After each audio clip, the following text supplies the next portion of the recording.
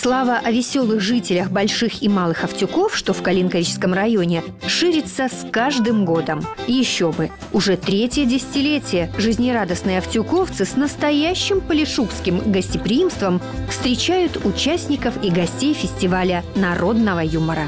Необыкновенный праздник смеха – изюминка Гомельщины и одна из белорусских фишек, каких ни у кого нет – фестываль гумару ён адзіны і ён павінны быць адзіны ў нашай краіне таму што ёсць такое месца дзе ён заўсёды будзе прыязджаць ладзіцца з вялікім гонарам з вялікім імпэтам з вялікім таким адрозненнем от іншых фестивалей, якія проходят в нашей краине. Чтобы стать зрителем уморительного летнего действа, не надо покупать билеты и ждать приглашений.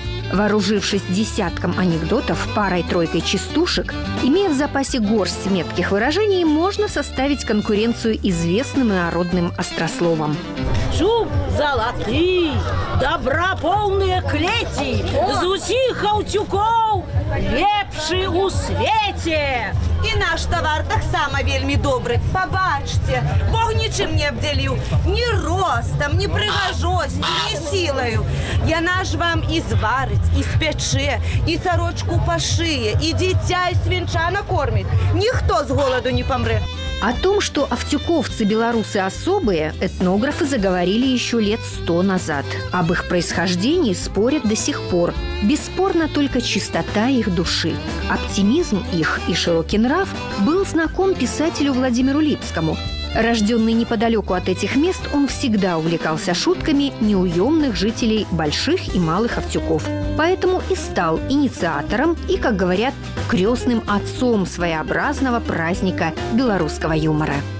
Это не просто Аутюковский фестиваль народного гумору. Это, по сутности, фестиваль белорусского народного гумора. Мы этим самым продолжаем фольклор э, тых далеких часов, народную мудрость. Мы продолжаем, обогащаем ее. Мне здається, тут вельми хорошо все получается. Праца, смех, радость, духовные мускулы и физические мускулы. Хоть фестиваль и юмористический, но готовится к нему в Автюках с полной серьезностью и старанием. Без осмотра усадеб гостями, традиционного швендания по Автюковским дворам и домам за всю историю, а начинается она с 1995-го, фестиваль еще не обходился. Да это и не просто швендание, а конкурс, определение лучших усадеб, хозяйственных колосков и калинок, их гостеприимства и остроумия. Бульбу садили только ночью. Как караванские жуки не башки. Этот веселый праздник поднялся из фольклорных пластов нашей культуры, пустил глубокие корни, тронул тонкие струны души белоруса и стал народным. Начинался в 1995-м при поддержке Министерства культуры Республики Беларусь. Гомельского областного исполнительного комитета и органов власти Калинковического района. С каждым годом радовал новыми идеями, написанными книгами, гимном фестиваля и выступлением участников на Славянском базаре, памятниками Колоску и Калинке, музеем народного юмора и открытием скамьи примирения. Когда проходишь, не было людей, чтобы чтобы не улыбались, чтобы не, не обнимались, э, они, они встретились. И опять же на но вот на этих встречах опять появляются новые анекдоты, новые шутки, вот, э, которые ну, достоянием уже следующего праздника. Собственно, за всем уморительным уже который год в Автюки и едут.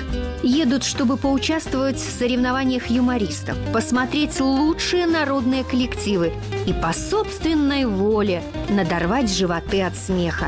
Ведь автюковские колоски и калинки, бросая вызов признанным юмористам, возносят белорусский народный юмор на высокую орбиту, как визитку нашей страны.